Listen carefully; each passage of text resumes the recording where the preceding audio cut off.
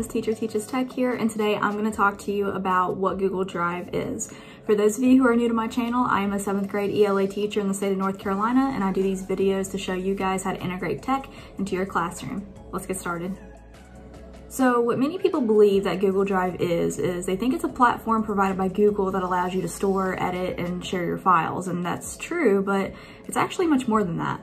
Today, I'm going to show you the ins and outs of Google Drive and how you can use it to increase your productivity as a teacher or a professional. So the good thing about Google Drive is that you can access your files from any device. This includes iPad, iPhone, Mac, Windows desktop, Android phone, Chromebook, or a tablet. You can sign in on your account from any device and access your files right where you left them. If I'm in a meeting and I left my laptop in my classroom and I have to edit an important document, I can pull that up on my phone and edit it from there.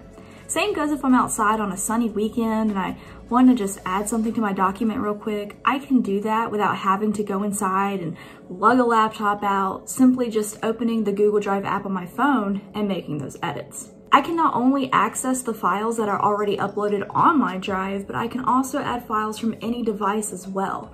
All you gotta do is just go to the plus button to the top left hand corner of the screen and select the file that you wanna upload. This can be a photo, a movie, a GIF, a Word document, a PowerPoint, zip file, whatever. You can also share documents with whomever you choose. All you need is their email address and they will get a notification in their email stating that they've been invited to edit the document that you just shared. Depending on what permissions you have set for them, they can either edit the files, provide comments on the files, or only view the files. If you allow them to edit the files, you can see their edits in real time and even go to the version history to see who edited what and at what time and day. This is good for collaborating on projects, sharing ideas and information, and keeping a meeting agenda. This also goes with Google Slides, Google Sheets, and many more. If you allow people to provide comments, they cannot edit your document in any way, shape, or form but they can add comments to the side of the document to provide any feedback or suggestions for changes. If you choose view only, the viewer can only see the document. They cannot edit it or provide any comments whatsoever. You can also create folders to organize your work. You can give them a name, change their color, and if you want to get super organized and have some type of aesthetic, you can add emojis and images to their title to keep everything ordered and neat. Just like with files, you can share an entire folder by inviting a person with their email to do so. They will be able to access everything inside of that folder.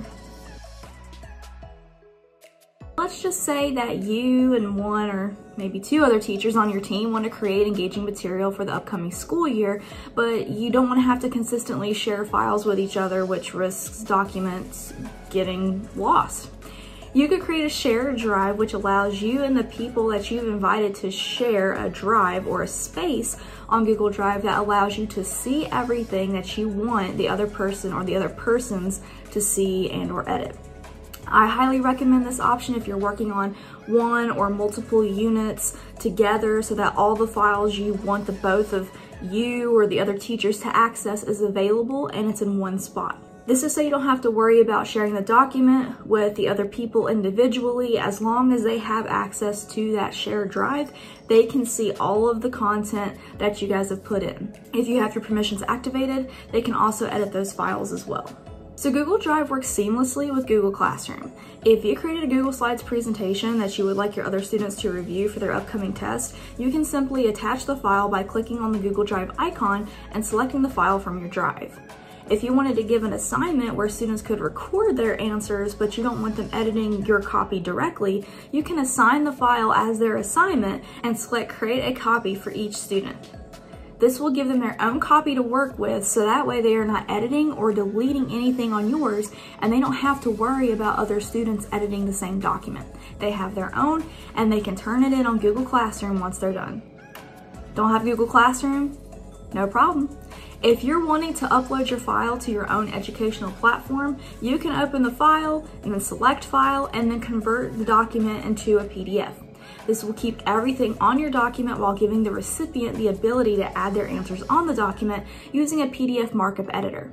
On Mac, this would be a program called Preview, and on iPad, it's just the pen icon located in the top right hand corner when the document opens. On Chromebook, you can add a Google Web Store extension app called Kami through your Google Drive that allows you to make annotations and add interactive elements. If you're interested in receiving a Kami teacher certification, click the link down in the description box below. Not only is getting the certification helpful in teaching you how to annotate documents using your Chromebook or Chrome web browser, but it's also free and is beneficial when integrating tech into your classroom. You'll also get a cute little badge that you can use on your resume or email signature, so go check that out now. This video is not sponsored. So for those of you Google Drive newbies out there, I hope that this video gave you some insight and some helpful tips on what Google Drive is and how to actually use that within your profession or in teaching. If you have any questions, comments, or concerns, drop those in the comment box down below, and I'll see you in the next video. Thank you guys so much and have a good one. Bye.